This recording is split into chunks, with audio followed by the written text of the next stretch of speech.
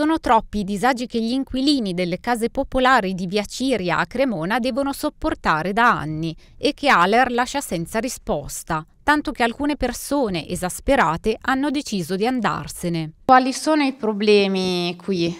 Tutti, cioè dalla, dalla um, muratura dal sistema che hanno loro di risposta, che dicono sì, veniamo, passiamo, guardano e poi non fanno più niente. Io sono otto anni che sono qui e non ho mai visto una persona venire per mettere a posto. È un anno che sto aspettando di fargli mettere a posto quella, quel buco di questa, della televisione. Ho dovuto io spendere, vede quella cassettina là, per mettere i fili un po' in ordine. Poi quando ho visto che sia anche il giardino fuori, siano eh, diciamo, i, i, canali, siano anche i terrazzi, fuori tutto il resto, insomma sono passati anni che non fanno proprio niente.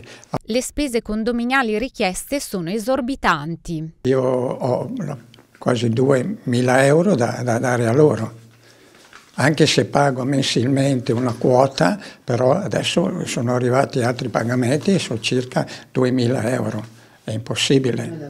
E voi vivete con una pensione minima? Esatto. Ho, ho, deciso poi di, di andare con la mia compagna perché non possiamo vivere così. E cosa faccio? Quindi adesso dove andrete? Vado a casa sua. Gli infissi non isolano termicamente e le tapparelle rotte non vengono aggiustate. Lei vede che, che il vetro è sottilissimo, poi c'è il calcature che è tutto in ferro. E poi quando c'è stata la tempesta, che sono venuto io otto anni fa, tanto per farne un esempio, la tempesta ha rovinato tutte le tapparelle fuori.